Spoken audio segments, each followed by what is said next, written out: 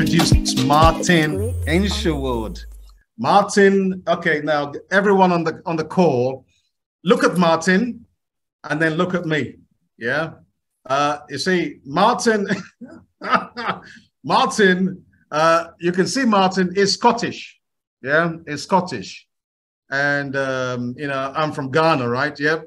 And in Ghana, uh, we, we have the we have the kente, and Martin has got the tartan. Yeah, and they have this tartan. They're very similar type of designs to the Ghanaian kente. So we, have a Ghana Scottish Association. Uh, but beyond that, and more importantly, uh, when I say look at Martin, look at me, Martin is actually my brother from another mother. So uh, I say this as well, and I always say this at every conference. In, in 2014, when I said, I, like, I want to do Agile in Africa Scrum Day London, Martin was the first person in the world that said, Nana, I'm in and I'm going to support you. And since then, uh, Martin has always, every single year, he's always been there to support whatever we do in Africa. And uh, for me, it's just really a, a, a, joy to have Martin here in 2022. Uh, Agile in Africa. Martin, I'm not going to keep long and do a big, massive introduction. I think we know you really well. Martin is a professional Scrum trainer. He owns his own company, Naked Agility. And um, Martin is also a coach. He's done lots of different stuff across industries globally. He's a technical person as well. He's, uh, well, you'll see his profile online later. Martin, over to you. Welcome, welcome, welcome. Can you hear me okay, Nana? I can hear you. It's, it's lighting up, so you must be able to hear me. I um um I was surprised you called on me. My slot was tomorrow, and I'm like, oh, got to figure out how to what we're gonna what we're gonna do. So, um, no, it's it's as usual. It's great to be here. I was gonna wear my African shirt, and, and I was gonna I was gonna wear my hat like uh, Arthur. Oh, oh, you can still do that. But and, and I, can I just say to everyone that Martin was supposed to be on tomorrow, but today I just thought, you know what? Because we had a slot, Patricia is actually caught up in something because we were running late because you know we overran with the speakers, and so I think she's struggling to come online. And I just reached out to Martin, and I just said to Martin, "Do you mind doing something today?" And Martin said, "Yes," and we can do it. I said, oh. and said, "Yes, I can do it." First of all, he panicked and said, "Oh," but then he said, "Yes, I can do it." So, of Martin, thank you because you're always ready to respond to change. Thank you for today. Thank you. you're you're you're you're very very very welcome. And responding to change is quite important.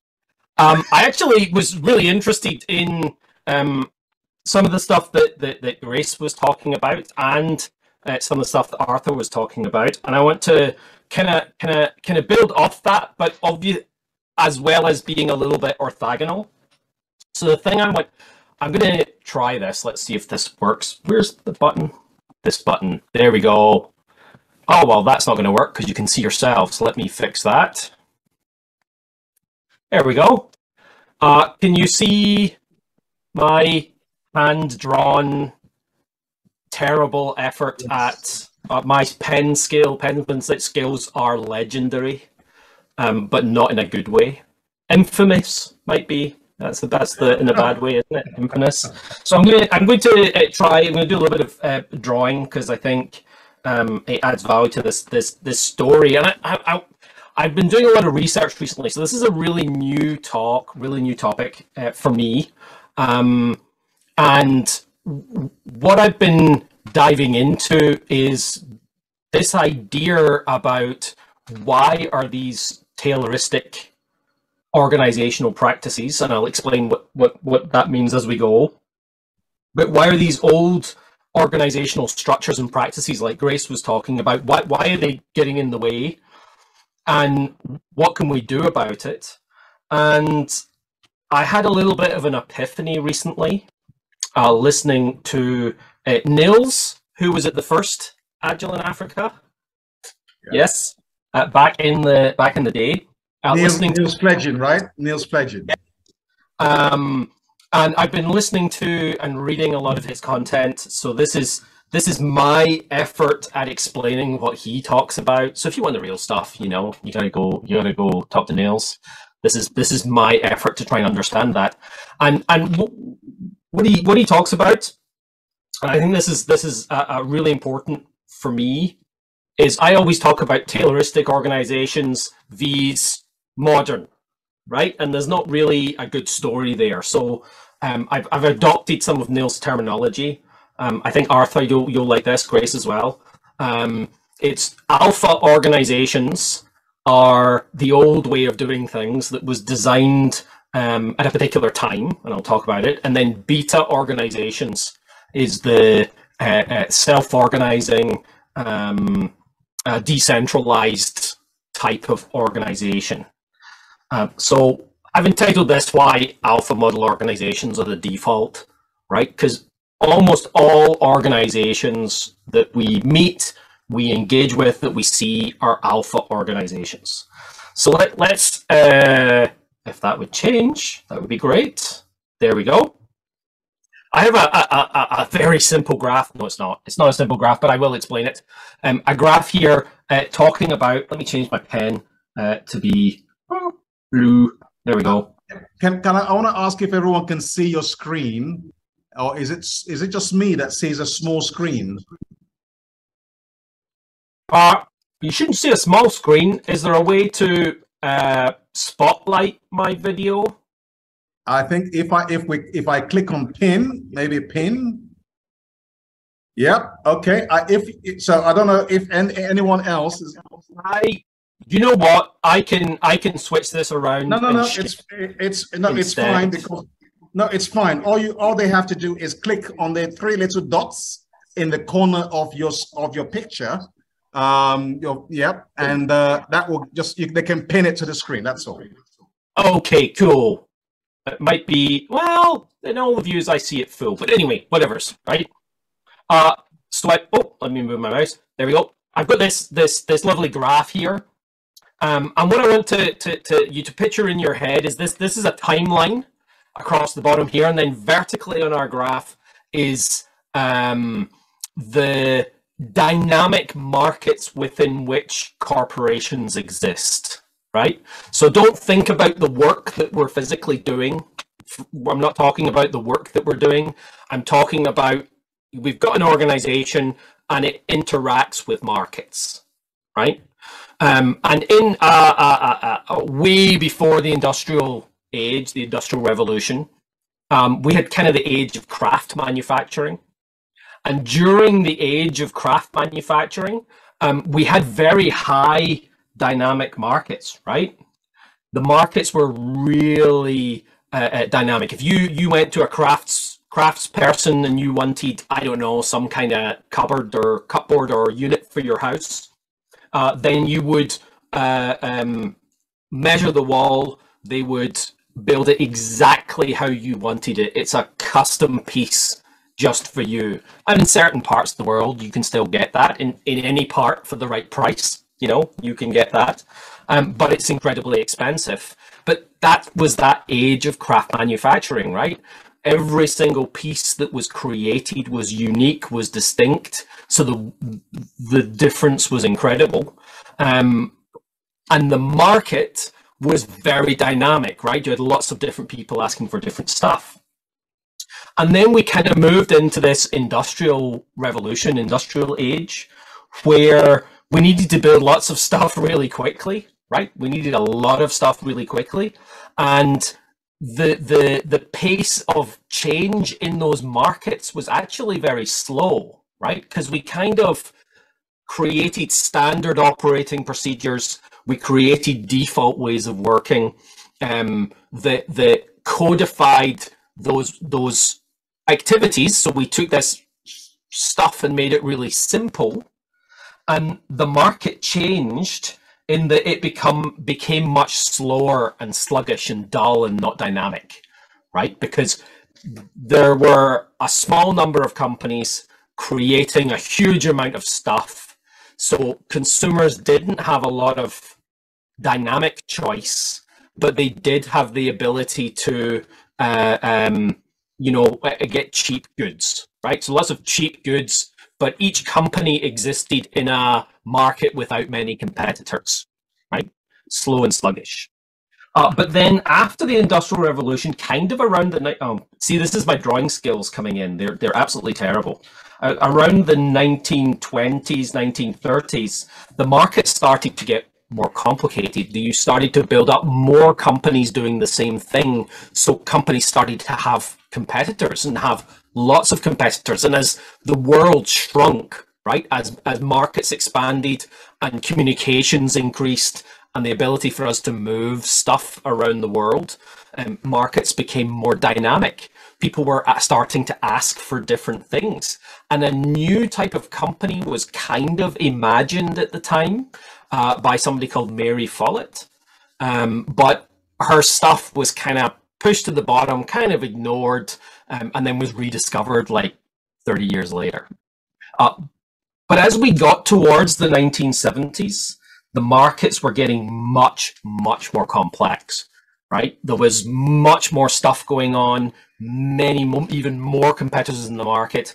And the time at which the practices that were created during the industrial age were no longer relevant was kind of around the 1970s, right? That's when the markets kind of got complicated and dynamic enough that this old way of working where we created standard operating procedures, we had the same inputs, got the same outputs, uh, we could do the same thing over and over again and get the same results, kind of started to disappear, right? Um, think about all of the companies that went out of business in the 70s and 80s because they just couldn't move fast enough uh, to be able to keep up with demand, keep up with competition. Even the car manufacturers in the US were in danger of disappearing because of Toyota and Toyota's ability to deliver dynamically to the market. Um, you ordered a car, they built that car for you with your custom features and capability on it, and then delivered it to you. And the rest of the market, who was still using those industrial age Tayloristic practices, just weren't able to compete at all. But then the advent of this in the 70s of software and the capabilities that added to organizations to be able to change faster, do more things with less uh, capability, automation in factories, right? Starting to, to, to, to, to allow that dynamic, more custom items in the market. And then the market starts demanding more and more of those uh, uh, uh types of things. And we've ended up in this age of global markets where the change is so immense that we really have uh, little or no control over it. I, I like to think of um, the markets within which organizations exist are kind of like how uh, uh, Darwin described uh, the, the, the animal kingdom, right? You've got a, a, an opportunity arises in the market either a new company or an existing company takes advantage of that opportunity. If that market then starts to disappear, a company has to either change to do something else or die, right? It, it could die out. The company becomes extinct because they're not able to change what they're doing or don't want to. Um, but as that organization dies, new markets are opened up, new companies come into existence to take advantage of those markets, and they exist for as long as they are able to change dynamically to those markets. So what tends to happen is companies and organizations that are very small, let's say under 25 people, just to pick a number, but under 25 people, are able to continue to be dynamic, right? Um, we can just talk. I know every single person in my company. I maybe have a, a beer with them at the end of the evening. Uh, we talk about stuff all the time. We know each other. We can collaborate and we can uh, uh, uh just get things done.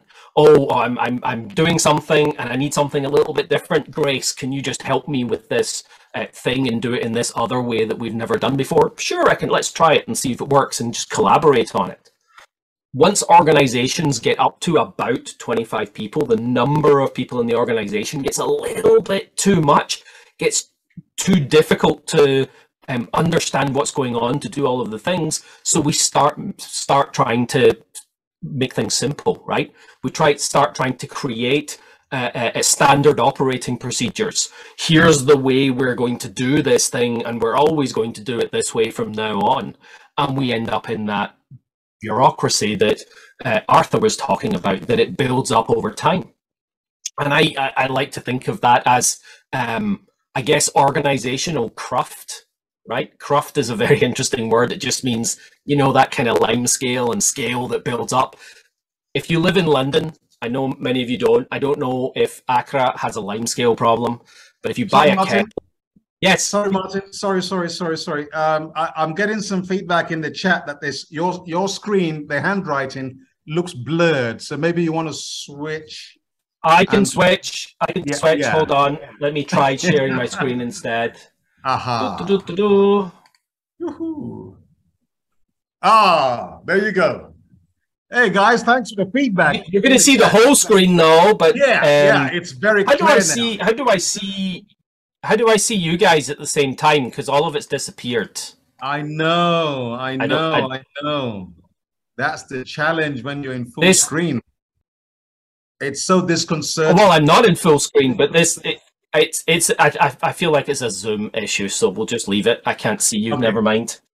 Uh so yeah, well, the details on this graph are, are a little bit unimportant. Uh, you can kind of, I've, I've got my mouse now, but you can kind of see down here, um, we've just got the, the high dynamic uh, of the market, uh, little competition happening in here, and then things start to get fast moving again over here. It's really that flow of the graph. Does it? Does this make sense for you, Nana? the way I'm explaining it? Does. It? Yep, it does for me. So what's what's really interesting is that if we look at the oh, if we look at if I can change my pen again, I'm going to go thin and go black. There we go. Um, is that this really equates to two two different markets, right? That our company can exist in. Um, I'm, I'm suggesting that one of them doesn't exist anymore, but there are organizational structures that were developed for it. So the one on the left here is the is the complicated market. Right? And in the complicated market, something something we can actually do something really powerful in the complicated market. We can take that thing that is quite complicated that we might do, that's our interaction with our customers or, or, or however it is we, we make money, um, we can apply knowledge. And in that application of knowledge, we turn it simple, right? Because we create this repeatable process or procedure that we can uh, continuously do. Now, even in complex markets, we can also have certain types of work that we do that we make simple but the market is still complex. So the other side of this complicated story is the complex, the complex markets. And there's no way, no way to turn complex things into simple things because they're just far too dynamic. They're unrepeatable. You do the same thing again and you get different results.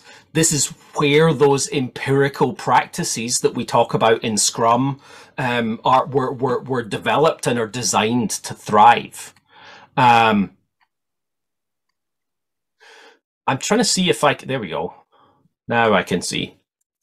So, um, but what does happen in the complex world? Nana, you've you've got an organization. You work with organizations in the complex world. What what are things that happen at random intervals in the complex world that you have absolutely no control over? Well, um, in a complex world, the valuation of the currency is one, and um, okay. you know, market market changes. And are they predictable? Uh, not really, not in this day and time. I mean, okay. Uh, so, so the predict. thing that happens, the thing that happens, Nana, is we get surprises. Absolutely.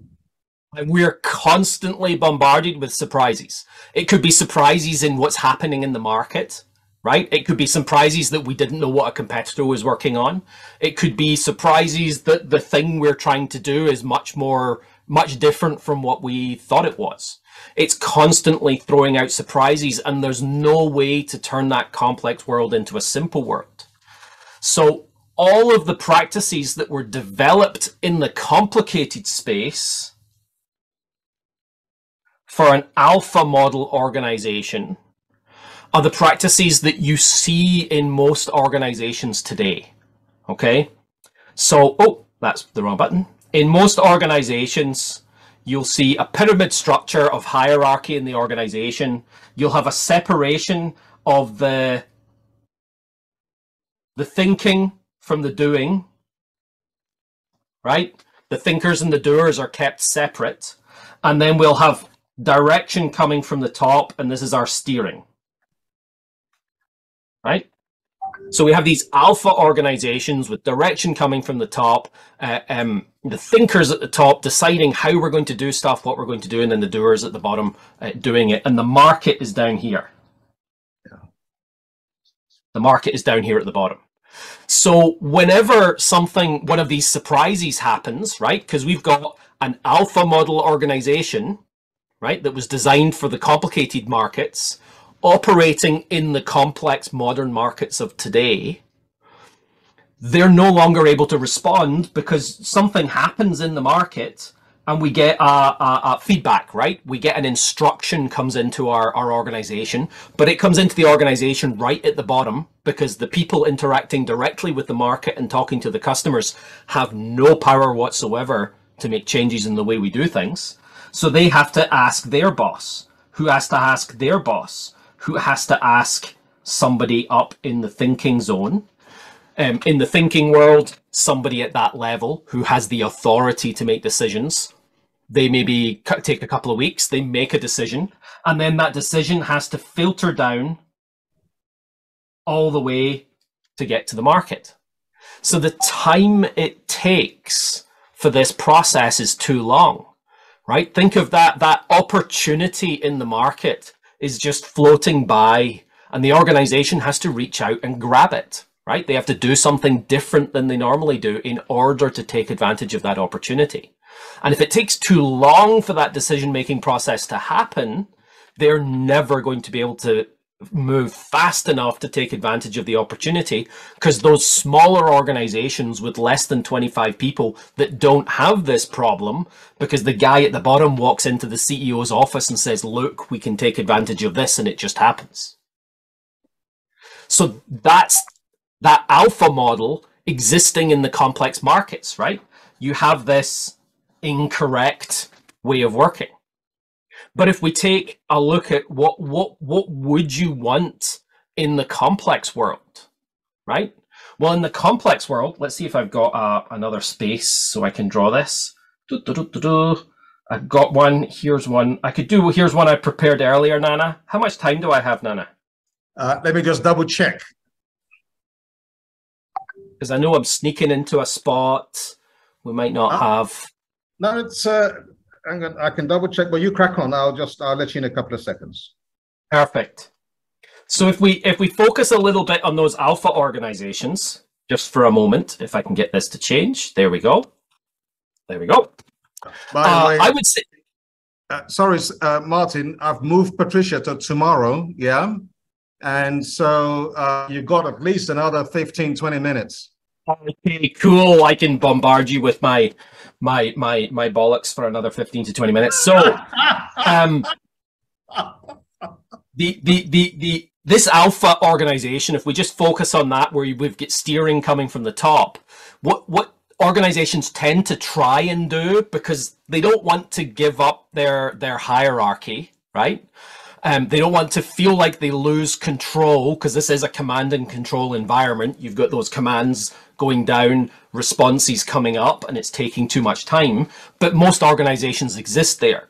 So what they tend to do is they try and add more angles of steering, right? So you probably heard of communities of practice. Quite often an alpha organization will build in communities of practice. So you create this new triangle with a different direction of steering on top of the other one. And then perhaps there's something else going on. So you create another direction of steering. Does anybody know what, what that's called when you keep adding these additional levels of steering? Waste. waste. Well, it's definitely wasteful, right? It's definitely wasteful, but that's that's that's not. It's actually got a, a, a, an organizational structure name, and you will recognize it. Confusion. I like that one. Confusion. Um, it's actually matrix. Matrix organizations. So matrix organizations were first introduced around the 1930s, as far as I can make out. And they were an implementation of Mary Follett's ideas around pushing responsibility down the organization. And it was a way to increase the longevity of the alpha organization while not actually having to make any changes. I think uh, both Grace talked about that and Arthur talked about that, right? We don't want to make the change because it's too hard. When in actual fact, this adding more layers on top, more different steering directions on top is not going to solve the problem of the time it takes to get things done, right? It's just steering from a different direction. So matrix organizations did extend the life of uh, um, these alpha organizations, uh, but there's still that that end in sight. So what what what should we do? What should we do differently? Well, what what we need, I'm just going to use a blank page, um, is we need an organization that responds dynamically to the market, right? I'm going to call this beta. We need a beta model organization rather than an alpha model organization. And what, what that looks like is we need lots of, oh, that didn't work. We need lots of little nodes, little teams that are all engaging directly to the market, right? So these engage directly to the market, and each of these is made up of a number of different people, right? So these are our part of our cross-functional teams but they're not. These cross-functional teams are talking directly to the market, and the market's talking directly to them. So you might think of each of these little cells, these teams, are are probably responsible for invoicing. I'm using the virtual invoice, right? But invoicing customers and getting money from them. So profit and loss exists here. Uh, budgets exist here. Um, that's who's talking directly to the customer. And then in the center of our organization, we have a whole bunch of additional nodes that provide services to each of these periphery. Let's call this periphery. Periph. Did I tell you I'm dyslexic? That means spelling, not my strong suit. Writing, not my strong suit. Speaking, not my strong suit. Uh, but the periphery talks directly to the market. The center doesn't have any interact, uh, limited, right? But doesn't have any direct in, interaction with the market. So if the center wants to provide some additional service to the periphery, they have to solicit the periphery for funding because that's where the money is. So this organization is able to dynamically adapt to the changing needs of the market. If something happened in the market and things that let's say these two teams here are working on is is is no longer valid. It goes into maintenance mode so one of the teams moves uh, uh, uh, uh into the center because it's not a commercial product anymore it's just something that happens to exist for a while and maybe some part of the organization kind of disappears right? And it's filled by new opportunities in the market, new things going on. And because the periphery has the money to be able to interact directly with the market, they're able to do that. This is a decentralized structure for our organization. Um, if you want to look up some stuff around it, look up Beta Codex.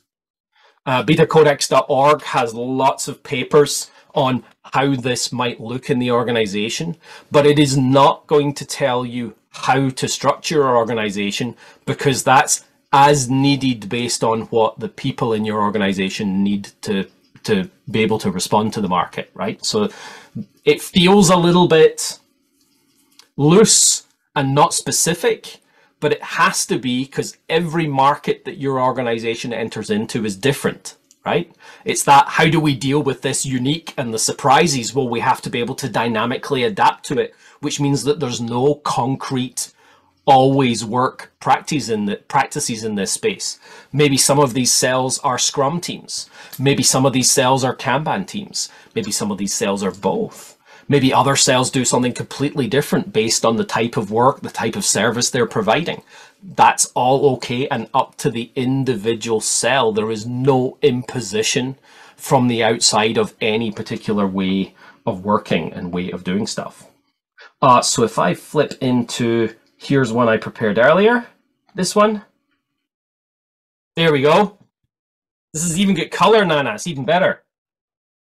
Um, so while most orgs, organizational structure, while I'm most organizational it. structures are alpha organizations, alpha organizational structures, the processes, the practices, the way we organize stuff, the hierarchy, the departments, all of those things were developed in slow moving markets that had very little competition right we didn't need to take advantage of this opportunity was uh, I'm, I'm, I'm thinking of you know um, uh, uh, livingston who was a, a, a, doctor in scotland who ran some uh, textile mills his company and his, his his thing that he did existed for well over 100 years right the, the, the, the opportunity that they had was sitting floating along right next to the company. They didn't have to reach very far to get it. It was within reach the whole time. There was nobody else trying to trying to take advantage of that opportunity. They had a total lock on the market. That market doesn't exist today. Even if it does exist, the minute you your company takes advantage of it, you know there's five other companies that are going to look and go, ooh, they're making money over here. I want some of that. And suddenly they're in your market as well. So you need this very dynamic set of ways of working, a beta organization, in order to be able to take advantage um, of what's going on. So the question you might ask that I can hear, um, if Arthur's still here, I can hear Arthur asking it in the background, is how the heck do you get from alpha to beta, from A to B? How does that happen? Well, that's a, a very interesting question. I would say that there's no right way to move from alpha to beta, but I'll tell you a little secret. There is always a beta organization. There always is a beta organization inside of your existing organization. The alpha constructs are artificial. Think about this. How do you, if you work inside of a larger organization, how do you get things done? Do you escalate to your boss, who escalates to their boss, who escalates? Is escalation a good way to solve that problem? Or do you go talk to the person you know you need help from and they're reasonable, they help you because they know that you're going to help them at some point in the future? That's a beta organization. That's these individual cells all talking to each other, right, dynamically to be able to get things done, solve the business problems, uh, and achieve stuff. And everything else, the alpha constructs are actually placed on top of it because we think we need to compartmentalize and codify, right, lock down how something works so we can continue to take advantage of it but we don't. Uh, one of the techniques uh, that I, I really like the name of, I, I, it, it, it's fantastic, organizational hygiene. Um, having some kind of organizational hygiene event where you go look at all of the things that are the way we do things here and figure out which of them you don't need to do anymore because they don't make any sense or which of them are inhibiting your ability to deliver values in organization and clean them up right? Get them just agree to stop doing them. Right? That's that's the hard part, right? Is just get that agreement to stop doing them. Uh, so one of the things, and let's make sure that I'm not going to write over the top of this. I'm going to add another layer just in case. Um, but what we can do is we can go into the, the organization, the alpha organization, and we can agree to have uh, an open space. So we have this, this and there's a, a construct called open space Beta, which is based on OpenSpace Agile. All open source, so you can go find all of this stuff online and go go do it. This is open space Beta. And in open space Beta, you'll have uh, two open spaces that are 90 days apart. One at the beginning of this change effort and one at the end of the change effort. So this is 90 days. And the idea is that you change your entire organization from alpha to beta inside of those 90 days. The purpose of the open space is to invite everybody in your organization, everybody in your organization, to participate in figuring out what are the things that we need to start doing, what are the things that we need to stop doing in order to make that transition. And within the bounds of those 90 days, you have authority from high enough in the organization that you can just do it. Do those things, make those changes, flip those switches, turn those things off, turn those other things on. And at the end of the 90 days, you have a, a review of what were the things that worked for us, what didn't, right? You probably recognize some of the, the terminology and figure out what, what we need to do next. And then you have a breathing space afterwards where you're not expected to make any changes because you need to see stuff working in your organization to be able to know whether it's successful. So using this open space model, um, I know I've not used it yet within an organization, but I've liaised with Niels and a few other people that, that have used it. Um, and in almost all cases, they've been able to affect organizational transition from alpha to beta in one 90 day uh, uh, trial. They've had uh, one organization where they had to do another one afterwards because the organization realized that they just they, they got there they got to beta and they started falling back to alpha quite quickly and they didn't have the level of authority that they needed in the organization to keep the changes that they decided to make. So things started to backslide. Um, and it is worth noting that as you go forward into the future, you wouldn't need to do these big organizational change efforts, but having re- constant, uh, repeatable organizational hygiene events, right? Where you look at the things that we're doing and figure out what not to do anymore um, is an important part of not sliding back into those alpha constructs appearing over the top of our organization again. Uh, I thought I had a, maybe I don't because I wasn't quite ready. Nana, that's your fault. I wasn't quite ready to do the to do to do to do the talk. Um, so I guess I'm gonna gonna stop there and see if there's any any questions. Absolutely, um, absolutely. Uh, you you you've actually finished right on time, and um, and I am uh, you know Martin, uh, this particular topic, yeah, and, and looking at the alpha organization working in that complicated space, and then looking at the beta organization, um, and you know the whole thing around beta codex. And you know, you remember um, Niels Pflaeging's book, Organized for Complexity, and that book, the, the, the beta org, perfect, perfect. The beta organization that uh, I read that book, and it was also absolutely, it was very revealing.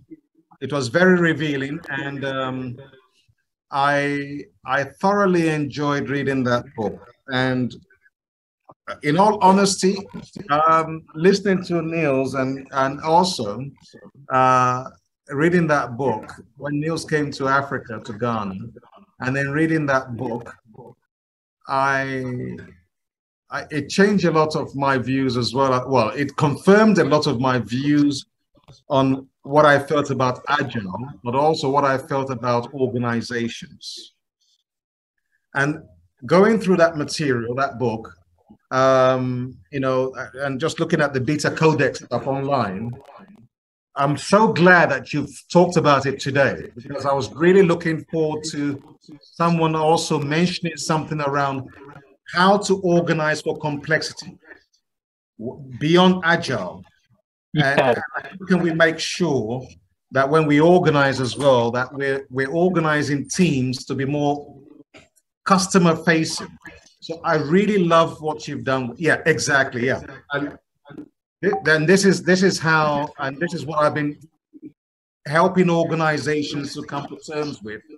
Uh, the way we can organize, we talk about operational efficiency, organizational design, behavior, culture, leadership, and all of that stuff.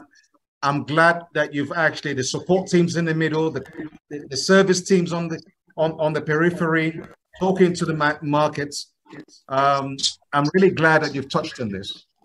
And I, just want to say a big thank you because this is one of my favorite topics as well, organizing for complexity. Yes. Um, I, I think Nana, the thing that everybody's going to struggle with, and I did as well when you start diving into to, to Beta Codex, is just like Scrum doesn't have the answers, right? Beta Codex doesn't have the answers to your questions. Yes. Scrum's not there to tell you how to do the work or the way you should do the work. It says, here's a framework within which the work can be done, the minimum framework. And that's really what Beta Codex is. What's what's the minimum framework that you would expect in your organization? How do you answer some of the straightforward questions like um, who's in the center and who's in the periphery, as well as uh, um, you know how, how do you do budgets? Right. The the Niels has got a, a paper on beyond budgeting, which is how do you do budgets in this new world, which has nothing to do uh, uh with traditional budget mechanics. Um, absolutely, absolutely. There's lots of really cool stuff. So I really recommend Niels's book, Organized for Complexity. Um, yeah. And I've got the link that I posted in the chat. I have uh, links for all of the content. Niels's book, Reinventing Organizations Beyond Budgeting, Turn This Ship Around, uh, Drive by Dan Pink. Um, you know my one of my favorite you know one of my favorite articles is from the US Department of Defense, the Detecting Agile Bullshit article. Yeah. Love yeah. that one. Um, lots of cool stuff in there. The good the good news is that Akaditi is named beta along the same lines. Yeah, very distributed. Well, last time I was there, which in fairness was a while ago. When am I coming to, to Ghana again, Nana? You, have got to come in 2023 for Agile in Africa 2023 because you have a story to tell. You have to be there. That would be awesome, but then I would have to draw like for real in person. That's not gonna. Well, you can do it on the big screen, and you can be drawing, and people can see it on the big screen. Uh, where's my button to change that? There it is. See, I wasn't ready today. Wasn't ready. Actually, you were coming after. You're scheduled to speak after Patricia, so it was today actually, but yeah, you were down for after Patricia. Oh, because because that's not what I have on my list. No, no, that's tomorrow. I have on my list. I think that they must have sent you an old one or something. Uh, the, the, the, program on the website. No, on the website, it's it's today. It's a website.